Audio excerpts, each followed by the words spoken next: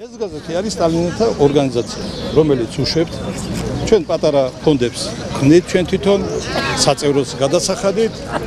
პატარა შრომები და იმდეს ავწtildeობთ რომ გაზეთი მაინც იმას ხათ რომ ხალხს აუხსნათ რომ ამ ადამიანმა რამხელა საქმე გააკეთა. არის როგორ გითხრათ იცი, ბევრი მომენტები რო სხვა ცხოვრებიდან მაგალითად გადასახლებაში რო იყო, თქვა ომში რო იყო, თენგიზ კანთელაშვილი არის ეს სტალინელი ორგანიზაციის უფროსი. ის აქცევს ამ გაზეთს ყურადღებას.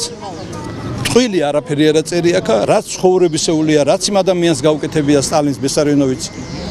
ყველაფერი სულ აქ არის. ერთლასა ვახდეინებთ ხოლმე. ხან კიდევ ისე სიტუაცია არის, რომ აი ფონდები რო დარჩება რა, ვარიგებთ, აი ახლა მაგალითად ხო ხვდები შენ, ესა სიცხული არ არის.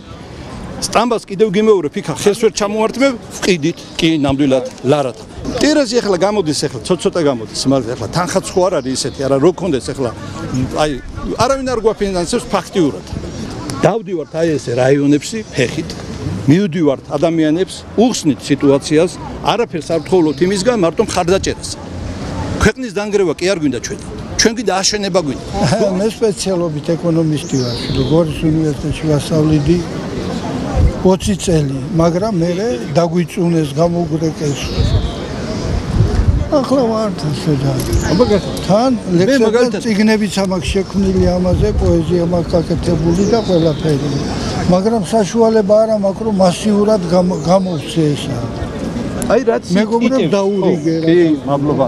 აი ხო გითხარით, როგორი ადამიანები სტალინელები ვართ ჩვენ ეს სულაც, ხალხი.